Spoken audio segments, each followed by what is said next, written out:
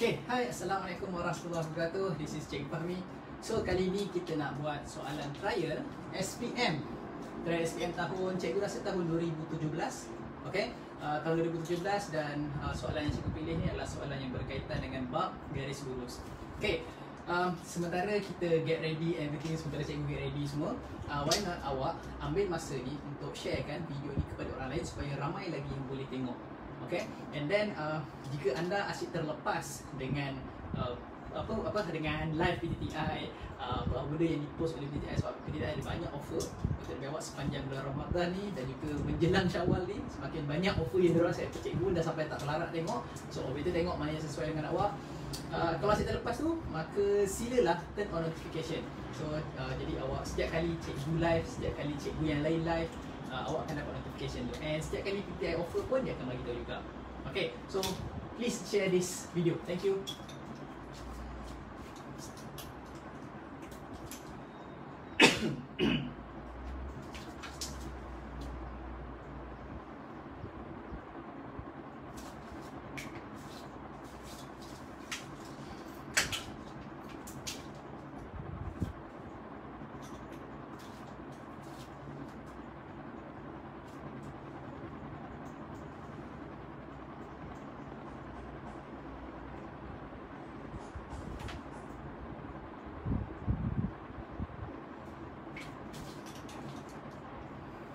Okay, so sementara cikgu tulis ni, of course lah cikgu sembang-sembang awak dulu lah um, Kalau awak dah share, terima kasih banyak-banyak.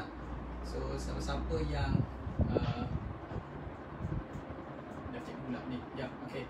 Negatif 4, 2 Okay, so sementara tu um, Kalau awak dah sedia, so make sure awak ni dah uh, Dapatkan semua awak punya uh, barang-barang lah. Macam kereta awak, kertas kosong untuk cetak buku pen dan kertas okey alright ni kita ada S0H uh, S0H lepas tu P Q R so sini Q lah sini R lah okey and then apa lagi kita tu Okey, soalan ni soalan ringkas je sebenarnya. Okey, antara maklumat yang diberikan, um, dia kata kecerunan. Uh, ini adalah parallelogram. Okey, segi empat selari. Uh, PQRS adalah parallelogram. Okey, dalam bahasa Melayunya adalah segi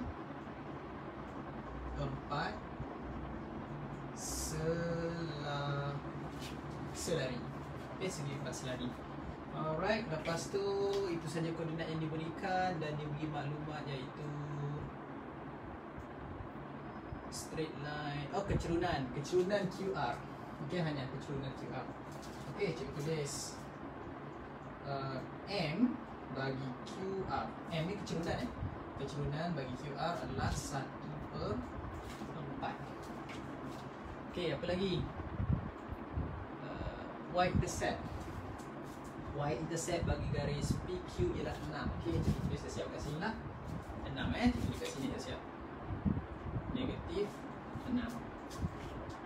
Okay, alright, cikgu dah ready macam dengan awak. Adakah awak dah ready? So kalau awak dah ready, please uh, komenkan dah ready. So kita boleh start. Okay, sementara cikgu get ready dengan second phone untuk tengok komen awak.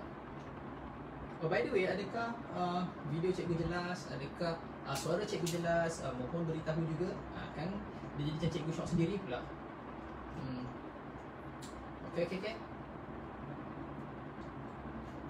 Page.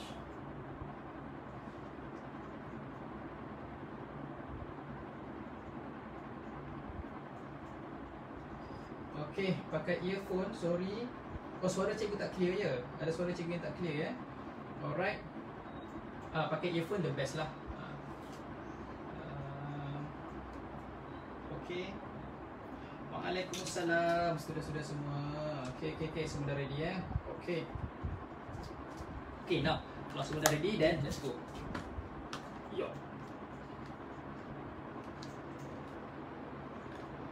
Okay, ah, cikgu boleh baca komen awak dan cikgu boleh tengok awak kat sini Okay, okay, so macam mana nak buat ni? First kali kita kena apa? kita kena faham soalan dulu. Mesti kena faham soalan dulu. Apa cerita dia kata this is parallelogram ataupun segi empat selari. Segi empat selari ni maksudnya apa? Maksudnya apa? Oh, dia cikgu tutup suara. Kau jadi ada dua cikgu Fahmi pula. Okay. So parallelogram ni apa? Daripada perkataan parallel ataupun selari. Maksudnya segi empat ni segi empat ni dia selari macam segi empat tempat ataupun segi empat sama okey segi empat tempat yang belajar ni sama panjang dia beritahu sama panjang okey tapi kat sini dia beritahu yang segi empat ni dia selari maknanya garis ni garis PS dengan garis QR dia selari. Garis SR dengan garis PQ dia selari juga. Okay, dia selari juga. So dia berselari antara dua ni, dia selari ni. Okay, so bila selari, apa dia cuba cakap? Ha, uh, cikgu bezakan garisan-garisan. Okay, bila dia cakap selari? Ini maksud dia.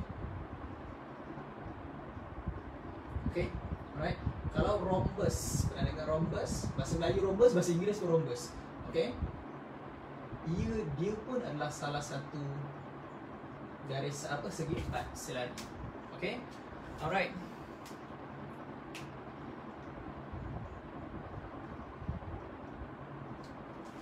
Okay, dah? Rhombus ni pun adalah salah satu contohnya. Okay, now let's go. Mari kita cuba buat Hmm, dekat segi empat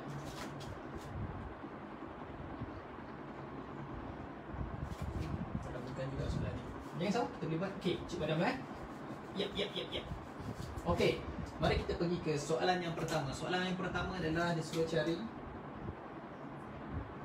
Value of H. Okay, cari nilai bagi H. Cari nilai bagi H. So kat mana H tu? H ada kat mana? Sini. H ada kat sini. Okay, apa laluan kita nak buat kat sini? Okay, okay So kita ada dua koordinat Betul? So cara untuk dapat tu lah Kalau kita ada persamaan Betul? Tapi tak ada persamaan So kita ada pakai cara persamaan Apa cara kita ada? Hmm, kalau awak tahu tu ya sila sila komen kan dekat bawah. Komen bang kat bawah. Maksud cikgu komen apa apa jalan kita awak buat. Apa yang buat? Apa yang buat? So persamaan tak ada. Jadi kita boleh gunakan dia punya kecerunan. Okay? Kita boleh gunakan dia punya kecerunan. So macam mana nak cari kecerunan pula? Sudah.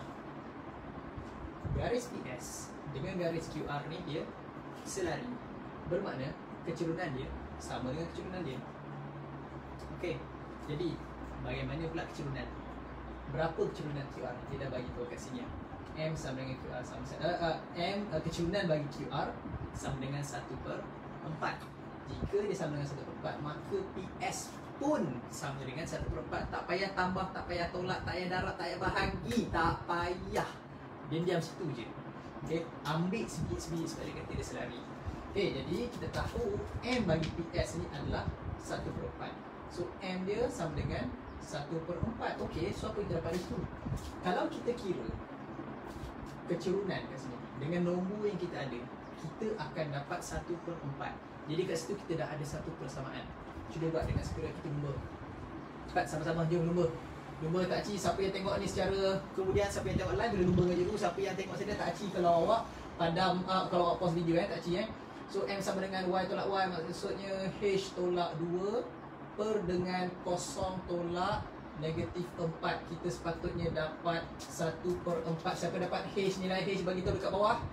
So sini kita dapat H tolak 2 per 4 sama dengan 1 per 4 Maksudnya H tolak 2 sama dengan 1 H sama dengan 3 Siapa dapat jawapan dulu? So cikgu dapat jawapan dulu? So adakah cikgu dapat jawapan dulu? Alright Tahniah, berjaya Tahniah Tahniah tepuk tangan dulu sendiri Okay uh, Siapa yang tak faham jalan kerja cikgu? Okay, siapa yang tak faham jalan kerja cikgu Cikgu terangkan lagi sekali Tengok sini eh Siapa yang tak faham? Okay, so cikgu tahu Formula untuk M Untuk kira M uh, Cikgu buat M Sama dengan Y tolak Y. Bahagi dengan X tolak X. Jadi kita ambil Y Itu H tolak dengan 2 Y X tolak X Kosong tolak dengan negatif 4 That's why cikgu dapat sini. H tolak 2 Kosong tolak negatif 4 Sama dengan 1 per 4 So dapat 1 per 4 Okay And then apa yang berlaku dekat sini adalah Cikgu hanya Selesaikan ni Which is dia jadi tambah Tambah 4 Okay. Lepas tu uh, Ni shortcut Ni shortcut. Kalau 4 sama dengan 4 bawah ni Maka atas sama dengan atas lah. Semudah tu je Semudah tu. 4 sama dengan 4 And then atas sama dengan atas. And kalau awak pindahkan pun 4 pindahkan sini Dia jadi darab kan. So 4 potong dengan 4 habis juga. Boleh terima tu? Boleh terima kan? Ataupun awak pindah sini. Sama dah jadi Kan? 4 pindah sini jadi satu kan? Betul satu Okay? Boleh? Alright So 2 negatif 2 kat sini Kat sini dia tambah 2 So 1 tambah 2 3 Okay Alright so tanya siapa yang dapat congat dengan pantas Bagus tanya Oh dapat jawapan dah? Ah dah Itulah jawapan dia Dia kata dia nak nilai bagi H Ah tu lah nilai bagi H Okay? Alright Okay Boleh Cikgu tak faham Dekat mana Oh, uh, ni ke? Mesti awak awak miss ni ke? Macam mana cara cikgu dapat ke?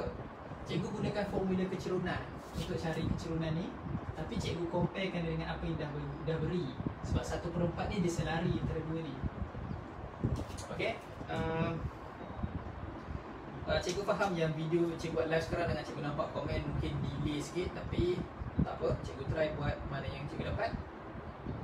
Okay, so bicara dapat dah? Oh, oh dia dah faham dah, okay ha, tak, delay, lambat sikit. Okay, lepas tu uh, Fakrul pun dapat juga Ah, gunakan formula yes. Ah. Cikgu jarang menggunakan uh, Y2 Y1 tu which is uh, memang biasanya dia ajar untuk gunakan Y2 Y1.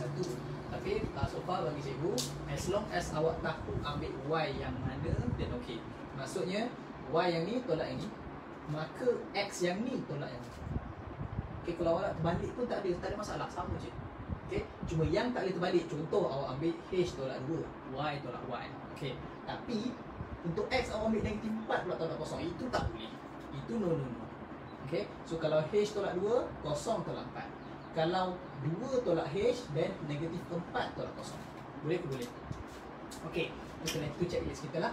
Alright Okay. Uh, Cik Padam uh, Kita nak buat soalan yang kedua. Soalan ni dua soalan je. Uh, Dua soalan je. Yes Soalan A dengan B Okay? Alright Seterusnya. Uh, Dia tanya kita apa? Kecerunan PQ Alright Okay, Cik Padam.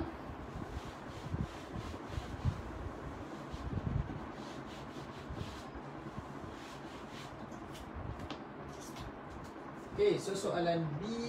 Dia minta kita cari kecerunan uh, Gradient of straight line PQ So, gradient Eh, salah hijau Gradient of straight Cikgu belajar daripada student WeChat cikgu. Straight line PQ Is it? PQ Okay, and then state state the equation. Eh, state the equation. Okay, dalam bahasa Inggeris, gradient ni adalah dia suruh kita cari kecerunan bagi cikgu pendekkan jadi GL garis lurus garis lurus PQ. Okey, garis lurus PQ cuba kita tindik lah. Garis lurus eh, tak ada juga. Ni. Okey, garis lurus PQ. Okey, kemudian dia suruh apa? State maksudnya nyatakan persamaan. Okey, nyatakan persamaan. So, uh, langkah untuk buat persamaan, okey, adalah kita nak kena cari kecerunan which is dia minta pada kali pertama. Okey, uh, mari kita cari kecerunan dulu. Macam kita nak cari kecerunan. First kali mana dia garis PQ ni? Oh, sini. Garis P, garis Q. Alright, kita garis P, garis Q.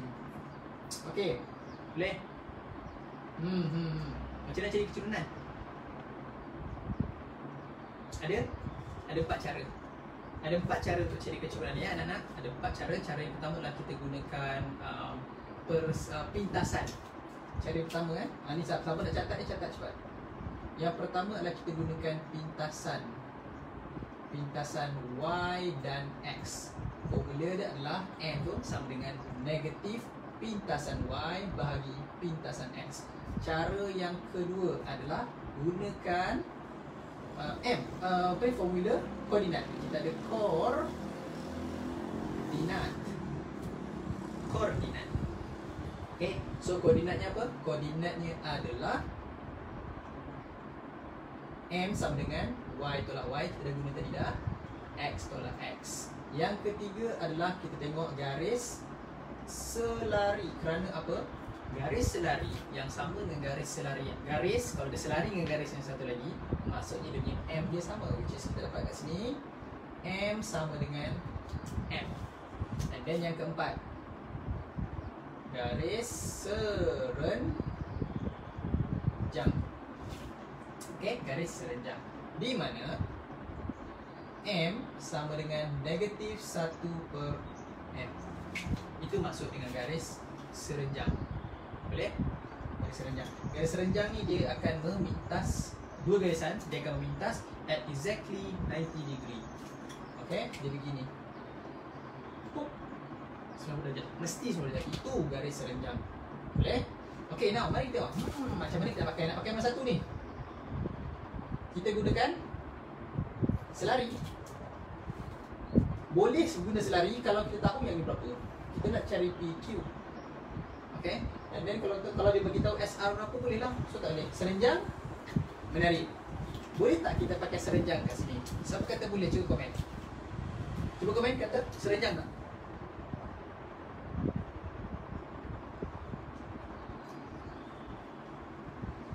Siapa nak pakai tambah C? Oh boleh Boleh, memang kita nak pakai itu pun hmm. Tapi sekarang kita nak tentukan kecerunan Kecerunan, macam mana?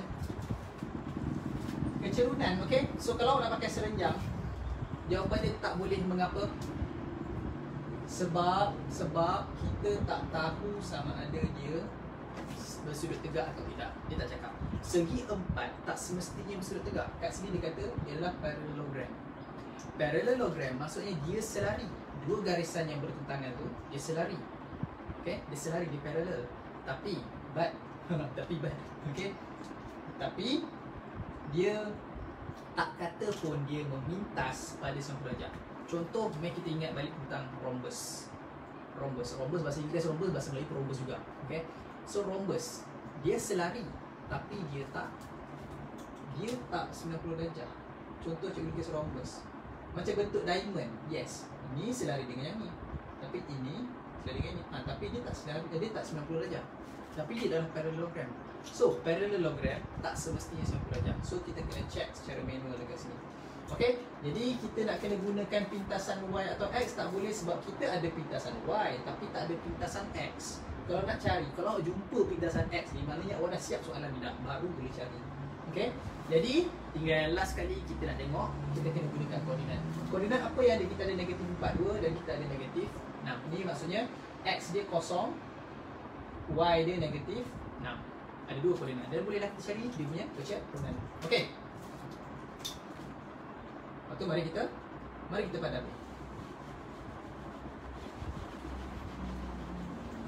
Okay, so kecerunan ni apa kita ada? Apa kita ada kecerunan? Apa kita ada? Kita ada negatif 4, 2 dan juga kosong negatif 6. Ini dua koordinat kita. Maka M sama dengan Y 2 tolak negatif 6 per negatif 4 tolak kosong. Okay? 2 tambah 6 dapat 8. Nah, tambah sebab tolak-tolak eh. Tambah dapat 8 Negatif 4 Negatif kosong Okey terdapat so negatif 4 sahaja So kita dapat sini negatif 2 Okey 8 bagi 4 dapat 2 So negatif Okey kita check. Negatif sebab dia ke bawah. So kita dapatlah M dia negatif 2 Alternatif lain. Alternatif lain. Okey Alternatif lain. Uh, Secara basicnya Persamaan garis lurus Kecerunan garis uh, Sorry Persamaan garis lurus Mestilah menggunakan Y sama dengan MX tambah C. Okay Kita dah ada koordinat iaitu negatif 4 dan 2 So kita gantikan Y adalah 2 X adalah negatif 4 Okay M ni kita nak cari Okey, tambah dengan C. C kita adalah negatif 6. Okey. So bila awak selesaikan ni, darat-daratkan pindah-pindah-pindah semua, maka M tetap akan dapat negatif 2. Cikgu tunjuk negatif 6 pindah sini jadi 8. So 8 sama dengan M negatif 4. Negatif 4 pindah ke sini maka dia jadi macam ni balik. So M sama dengan 8 per negatif 4 dan awak still akan dapat M sama dengan negatif 2. Mana satu cara yang lebih senang? Terpulang sebenarnya cikgu. Cikgu prefer gaya cara ni sebab untuk cari M awak terus dapat awak terus 3 4 cara tadi settle. Settle. Terus dapat. Okay Cara yang ni tak cikgu tak ada masalah Tapi siapa yang faham, siapa yang boleh buat Silakan, tiada masalah Okey je, mana-mana cepat Mana-mana dua-dua cepat, jangan risau ha, Dia bergantung pada orang yang kira. Okey, ha, kalau pindah-pindah pun orang masih uh, kelang kabut lagi Dan bahayalah. Okey, better pakai cara ni lebih senang. Okey, sebab cara ni memang akan pakai untuk soalan-soalan lain. Okey, yang bukan semua soalan dapat macam ni. Okey, ha, tu je. But kalau dapat, okey je, cikgu okey Alright? Okey, so dapat negatif 2 Okay, alright, alright, alright. Okay, mari kita. Kita dah dapat dah M betul? Kita dah dapat M sama dengan negatif 4. Okay, jaga-jaga dengan jenis soalan macam ni. Sebab apa? Dia suka uh, student selalu tinggal tau. Dia dah bagi, dia minta yang pertama. Okay, okay, so dia bagi yang pertama ni gradient. Lepas tu dia ada bagi dua soalan. Ya. Dia suruh state equation pula. Ha, itu problem. Selalu tertinggal state equation. Cikgu pun sama juga. Memang kena cikgu tinggal juga. Ini pun cikgu dah seronok dah tadi ni. Dah dapat jawapan, so no. Okay, next question. Uh, tapi kita lupa. Okay, so yes. Mari kita buat persamaan tu sekarang. Hati-hati. Okay. Wih, lajunya kau. tu dapat persamaan eh. Okay, so M kita sama dengan negatif 2. Ingat, ingat, ingat M sama dengan negatif 2. Cikgu tulis dulu siap-siap. M sama dengan negatif 2. Okay. Ah, uh, bagaimana? Okay basic dia kita kembali kepada basic kita nak buat persamaan kita mesti ada y sama dengan mx tambah c basic sekarang okey? Lepas tu kita cari m lepas tu kita cari c. Lepas tu kita fill in kan je lah. Dalam kotak tu untuk x tambah dengan c. Ha, macam tu. Okey? Sesi men- menyoal jawab berapa kita punya m? Kita dah kira tadi berapa? Negatif 2 C kita berapa? Okay, C kita boleh cari guna formula Tapi tak payahlah. Sebab apa? Sebab dia dah bagi So kalau dah bagi tulis je lah Janganlah gatal Buat reka sendiri Nah, negatif 6 And then kemaskan Y sama dengan negatif 2X tolak Itulah jawapannya Boleh ke boleh? Boleh tak? Okay, cikgu tengok setiap Soalan, quote lah ada soalan Eh, cikgu membelakangkan ni Korang nampak ke bayang-bayang? Hmm. Cikgu yang negatif 6 tu ada adalah koordinat Q. Even Q bukan duduk situ. Okey, ni soalan yang menarik. Okey. Um, baik, gini. Sebenarnya Siti, awak Azhar, awak boleh ambil dua koordinat tu, awak boleh ambil sepanjang ni. Sepanjang garisan tinggi Q. Sebab dia tetap akan berikan kecerunan yang sama. Tak percaya boleh cuba buat satu garisan dekat atas kotak-kotak kan garisan kotak-kotak tu hanya ada grid-grid ni garisan kotak-kotak tu Okay, so awak buat garisan dari sini sampai sini cuba kira cuba kira kecerunan untuk sini dengan sini dan sini dengan sini. Awak tetap akan dapat kecerunan yang sama. Kalau dia kata garis lurus dan dia kata kecerunan memang akan sama confirm. Saya jamin Okay, ha, kotak cikgu tak raya. Okay, kalau tak sama maknanya itu bukan garis lurus. Okay, so kita boleh ambil mana-mana pun. Q boleh, sini boleh, sini boleh, sini boleh. Boleh ambil mana-mana. Tapi kita kena tengoklah mana koordinat yang dia bagi. Kan? Ha. Kalau Q dia tak bagi, so kita boleh pakai ni. Okay, and tadi cikgu nak kira M tadi tu, cikgu tak gunakan koordinat Q. Cikgu gunakan pintasan. Koordinat dekat this, dekat sini iaitu kosong negatif 6 Cikgu tak guna Q Okay Okay Jelas ke Siti Hawa Ya Bukan tolak ke Maksud awak apa dia Bukan tolak Bukan tolak. Untuk formula YMS tambah C ke? Dia sepatutnya tambah. Okay? Uh, Formula adalah tambah. And plus cuba awak tengok ni adalah nak PQ kan? Tidak PQ Okay so ataupun awak boleh tengok begini Fakrul Islam. Untuk awak tengok Ni tengok sini Pintasan dia berapa? Negatif 6 kan? Jadi sini pun negatif 6 lah. Okay? Ha, Dia negatif 6 betul Sebab bila kita dalam persamaan garis lurus Yang kita ada Y yang estimasi tu. Kalau dia kata berapa kecerunan ha, Terus ambil belakang ni ha. Terus ambil segi-segi ambil terus. That's why kita dapat setiap negatif 6 ha, Memang kita ambil teruslah masuk dalam ni negatif 6 So positif negatif jadi negatif. So dia adalah kecerunan ke bawah Dan dia memintas dekat negatif 6 Okay, cikgu terima soalan lagi? Jika ada soalan? Okay Okay Alright, so jika tiada soalan Maka itu sahajalah uh, Persembahan kan? Uh, Di situ sajalah cikgu untuk hari ini. Uh, Dan selepas ini uh, Siapa yang uh, ambil biologi? Biologi? Yes, cikgu rasa biologi. So awak boleh tengok dengan dengan Cikgu Nadia pula. Dia akan kongsikan uh, something pasal biologi Which is cikgu tak ambil dulu so cikgu tak tahu Cikgu nak pergi tengok lepas ni dekat dalam group Nak score SPM 2020 Siapa yang boleh request, request sekarang Kenapa korang tak join lagi? Okay, dah join banyak dah live cikgu Dan make sure awak dah join dah. Okay, dan ajak sekali kawan-kawan yang lain So, diorang semua dapat belajar. Okay, alright So, itu saja di kesempatan ini juga cikgu mengucapkan selamat hari raya maaf zahir batin. Kita akan raya tak lama lagi. Okay, uh, dan pesanan cikgu jangan main mercun. Okay, kau cik pasal. Okay, nanti kau nak kira macam mana tak ada jari. Kan? Uh, lepas tu nak kira dengan kalkulator macam nak tekan kereta tak ada jari juga. Nak tulis macam mana tak ada jari? Ha? So jangan. So jangan cari pasal. Okay, kita boleh cari keseronokan lain dengan cara buat mat Okay, korang buat mat sedih Oh, cikgu have fun. Okay, so terima kasih. This is Cikgu Fahmi. Bye-bye. Assalamualaikum